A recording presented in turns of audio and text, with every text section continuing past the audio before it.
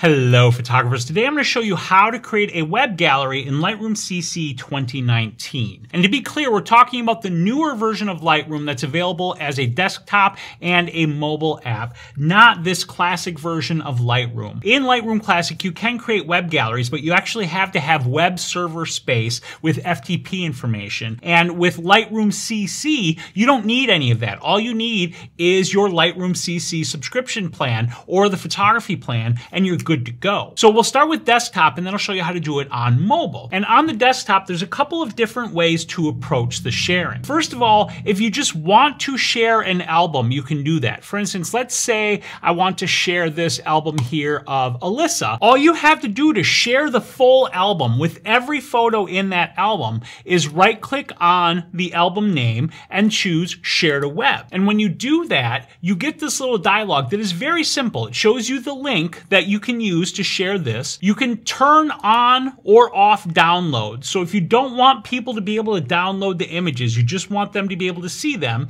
you leave this toggled off. And then you can choose whether or not to show your metadata and whether or not to show location data if it's included. And then you can go further if you want to actually filter it down, let's say you don't want to share the full album, you just want to share the best photos in there. Whether or not you've flagged them as picks or you've made them five stars or whatever, you can filter it. But we're not going to do that for right now. We're just going to hit continue to share the entire album. And once you do, it's almost immediately done. You can see right up here, this link is provided at the top of the album. And if you look over underneath the album title in the library here, you see shared underneath it. So it's telling you that this has been shared. And if I click on this link, it takes me to the web browser and it shows me the shared photos just like that. If I click on these, it brings them up large, but if I right click, you'll notice that there's no ability for me to save the image because we did not give the download option. So that's one way to do it. But now let's say you want to get a little bit more granular in how you share your images. For instance, I have this album here of photos I took with Aaron and Kylie when I was in Vegas last year. And there's a lot of images in here, but I only want to share the best images. To do that, I do the same thing. I right click, I choose share to web, but now I'm going to filter by my criteria. I am going to turn on downloads for this album just so you can see what the download function looks like. And then I'm going to filter this by picks that are also five star. And if I choose continue, it'll create this album now that only has images like this one here that is a pick. You can see the flag right here and that is labeled as five stars. And if I click this link again, it's going to take me once again to the web and you're going to see there's actually just one image in that album that is five stars with a pick on it. And you'll also notice over here this download option. And if I click this, it downloads a full-size JPEG to my computer.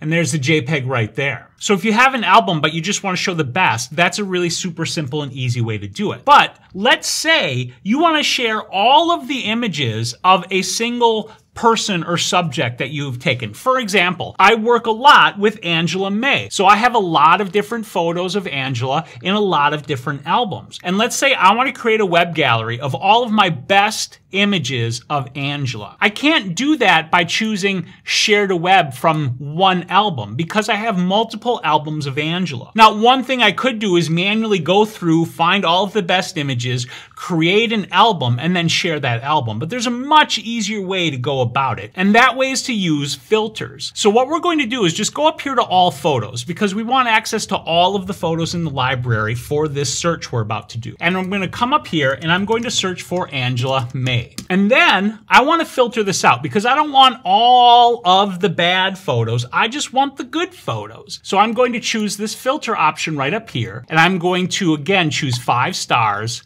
and picked photos. Now I want to share these in a web gallery. All I need to do is hit Command A on my keyboard or Control A on a Windows computer, and that will select all of those images. And I come up here to the share icon, click share to web, and I get that option again. Now here you see the title is just today's date. Well, that's not a very good title. So you can actually click that and change it. And I'm going to change this to Angela May. And again, I'm not going to allow downloads. I'm not going to show the metadata. I'm not going to show the location data. Now I could choose filtering here, but I don't need to filter because I've already filtered through the search terms and the flag and star filters that I use to get this set of photos in the first place. So if I hit continue here, I once again get this link. And if I click that, it takes me over to the web, and now I have this gallery of my best final images of Angela. Now, let's say you've shared something and you want to unshare it. Unsharing stuff is super, super easy. Over on the left-hand side here, you have your add to icon, you have your photo library, and then you have this here, which is sharing. And underneath that tab, it will show you all of the stuff that you have shared. Let's say I don't want to share this album of Aaron and Kylie since there's just one photo in there. All I need to do is right click on it and choose stop sharing and it is instantly gone. In fact, if I go back to that web page and I try to refresh it, it won't be available anymore. 404, it's gone just like that. So that's how you share from the desktop. So now we're going to switch over to the iPad.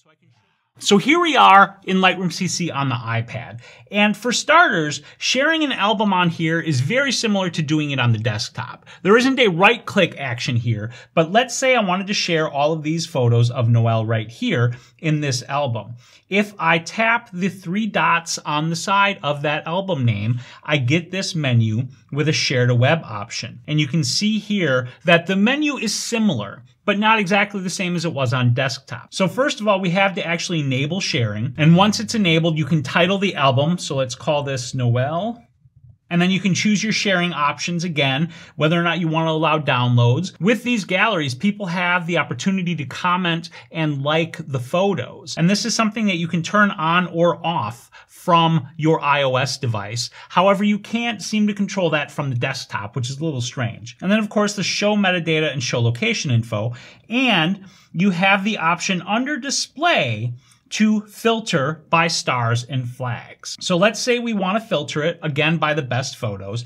And here too, you get some more options because you can choose a theme and we will go with the photo grid theme and we'll use the dark theme. And then you can hit done and once done, it creates the share. Now, in order to get the link, you actually have to tap the three dots and go to share to web. And then here you can tap the view on web option. And when you do, that'll open up your browser and it'll show you the album. What you can't do here that you could do on the desktop was create that search filter.